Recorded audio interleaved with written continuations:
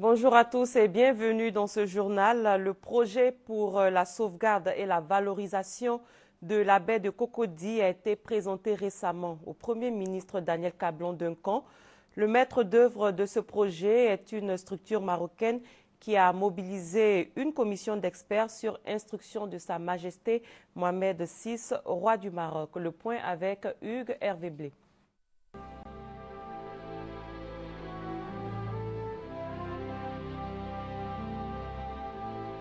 Ces images encore virtuelles de la baie de Cocody valorisée et sauvegardée pourraient bien devenir réalité dans l'avenir.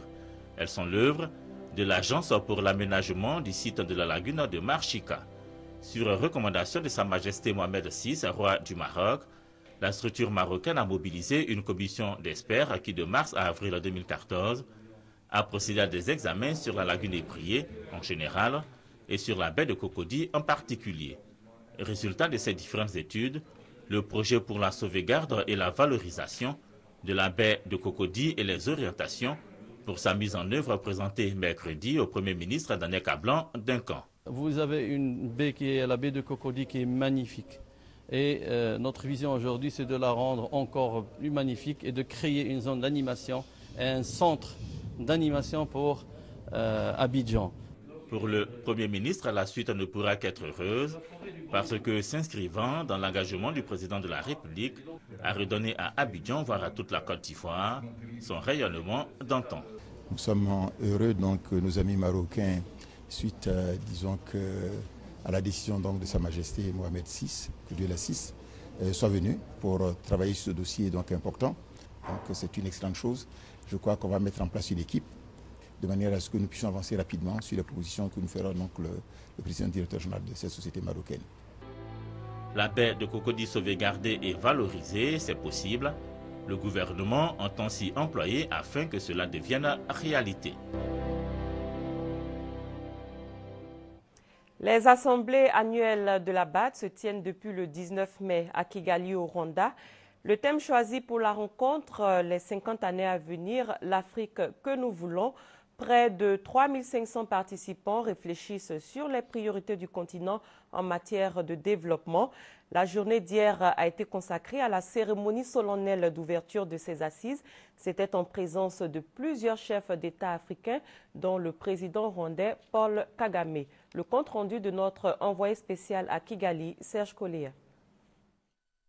Après trois jours d'échanges, de conférences et de rencontres de haut niveau, les quelques 3500 participants aux assemblées annuelles de la BAD, la Banque africaine de développement, à Kigali au Rwanda, se sont retrouvés pour la séance d'ouverture officielle. Ont pris part à cette cérémonie solennelle les présidents Ali Bongo du Gabon, Yoweri Museveni de l'Ouganda, Paul Kagame du Rwanda, Mohamed Ould Abdelaziz de la Mauritanie ainsi que Dlamini Zuma, présidente de la Commission de l'Union africaine. Le président du groupe de la BAD, Donald Kaberuka, note la solidité et l'importance de la BAD. Elle reste aujourd'hui cet instrument indispensable pour le développement de l'Afrique. Pour les 50 années à venir, l'Afrique que nous voulons, a-t-il dit, est celle du pouvoir économique et de la croissance. Pour relever le défi des infrastructures, la BAD a mis en place le Fonds Afrique 50, désormais opérationnel. Avec un capital initial de 3 milliards de dollars, ce fonds, pour les 10 années à venir, doit pouvoir mobiliser 100 milliards de dollars de l'épargne africaine pour financer les méga projets d'infrastructures, notamment les routes, l'énergie et la connectivité. Donald Kaberuka a annoncé sa prise de fonction effective à Abidjan, le siège de la BAD, pour début juillet 2014. Ce retour de la BAD à la maison marque le cinquantenaire de l'institution financière. En 50 ans d'existence, la BAD, la Banque africaine de développement, a approuvé au titre des prêts et dons aux pays africains un montant global d'environ 104 milliards de dollars. Le nouveau cadre d'exécution des finances publiques dans l'espace UMOA a été expliqué hier au cours d'un conclave à Yamoussoukro. C'est une initiative de la Direction nationale du Trésor et de la comptabilité publique. La rencontre fait suite au Conseil des ministres de l'UMOA, nous dit Eugène Atoubé. Trésoriers généraux, payeurs des districts, inspecteurs, vérificateurs principaux et comptables généraux du Trésor tous en leur qualité de gestionnaire des finances de l'État, planchent depuis ce matin sur le nouveau cadre harmonisé des dépenses publiques. Une disposition de l'UEMOA qui fait obligation aux États membres d'appliquer de nouvelles règles dans l'élaboration, le suivi et l'exécution de leur budget national. Une rencontre d'intérêt animée par la Direction générale du budget et qui va permettre aux agents d'exécution des dépenses de l'État d'avoir une haute idée de leur rôle. On essaie toujours d'améliorer, de, créer des systèmes, de mettre en place des réformes, des mécanismes pour que les bénéficiaires sentent l'effort que l'État euh, consent pour eux. En tant qu'administrateur de crédit, cette nouvelle approche budgétaire-là euh, doit leur permettre de préparer leur budget selon les dispositions prévues par les dispositifs de l'UEMOA. Le directeur général du Trésor et de la comptabilité publique a exhorté ses collaborateurs à tirer le meilleur profit de cette rencontre. Adam Kone les engage aussi à œuvrer pour l'amélioration de la gestion des finances publiques. À l'ouverture des travaux, le directeur de cabinet du ministère auprès du Premier ministre chargé de l'économie et des finances a rappelé les attentes du gouvernement. Désormais, le budget doit mettre en avant non seulement les moyens liés à l'activité des pouvoirs publics, mais également justifier la répartition des allocations par rapport à la réalisation d'objectifs définis par chaque dépense budgétaire et doit donc amener toutes les administrations publiques à réformer la performance de leurs organisations et leur mode de fonctionnement. C'est en 2009 que le Conseil des ministres de l'UEMOA a adopté les directives relatives au code de transparence dans la gestion des dépenses publiques et aux lois de finances publiques. La Côte d'Ivoire, pour sa part, aura attendu cinq ans pour introduire ces dispositions dans sa législation.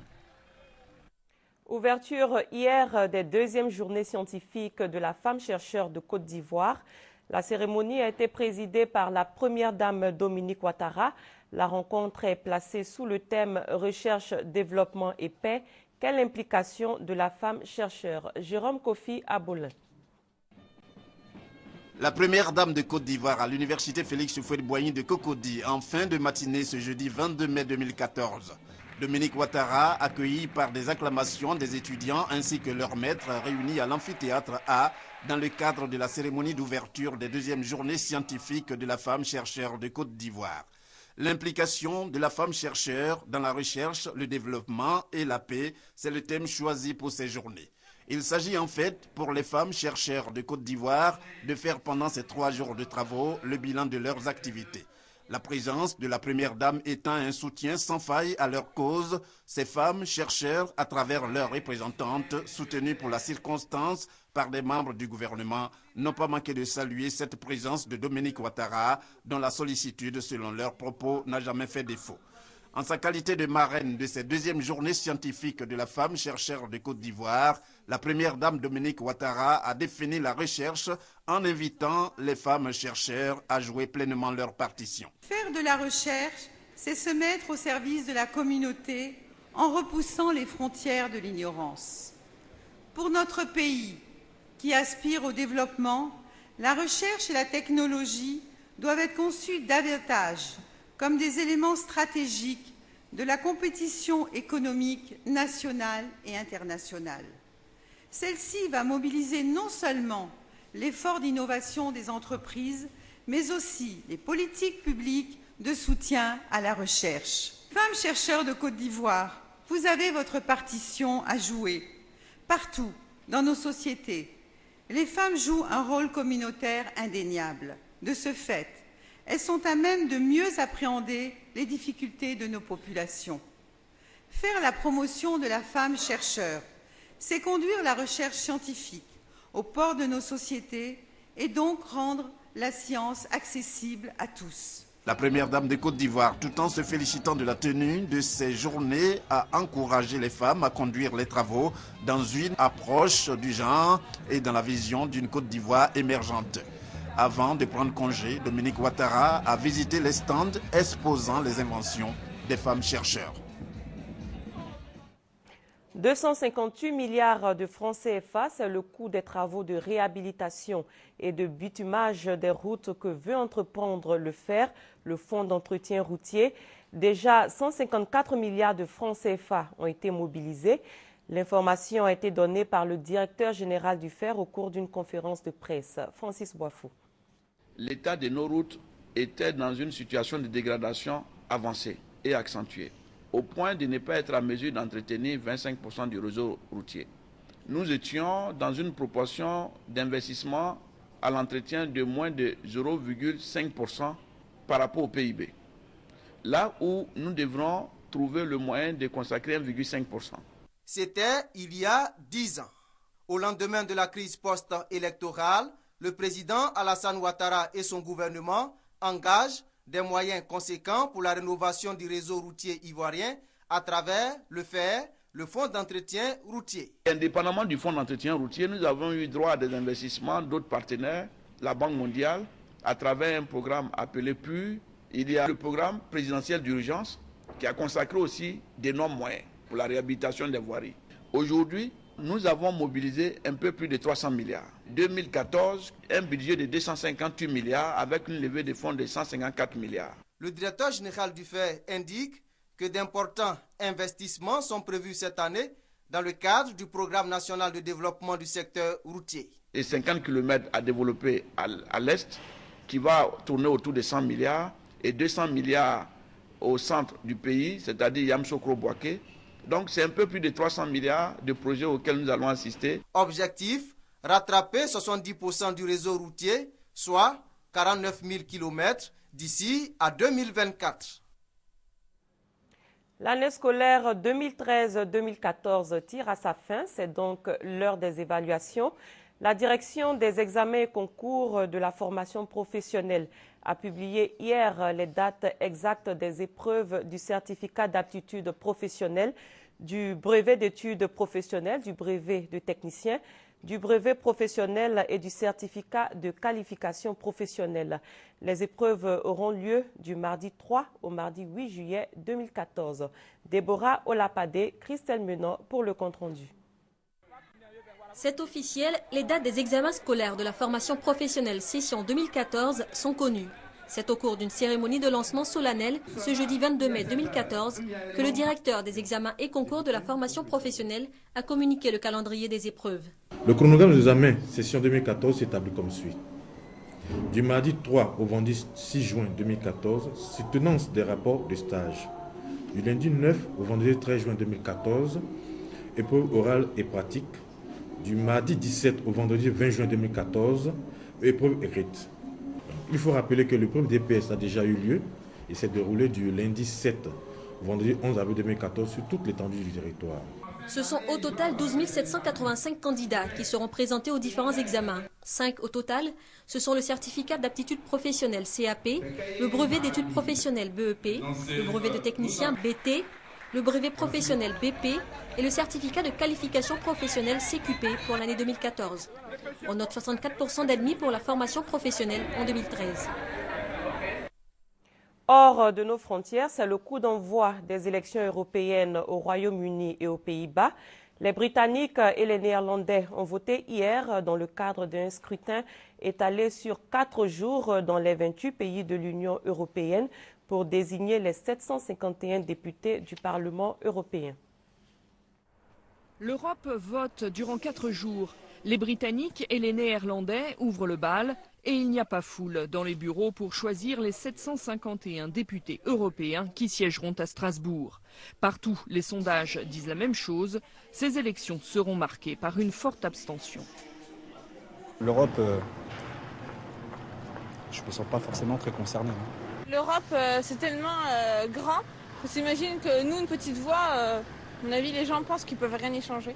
Depuis les premières élections européennes en 1979, ce chiffre de l'abstention n'a cessé de progresser.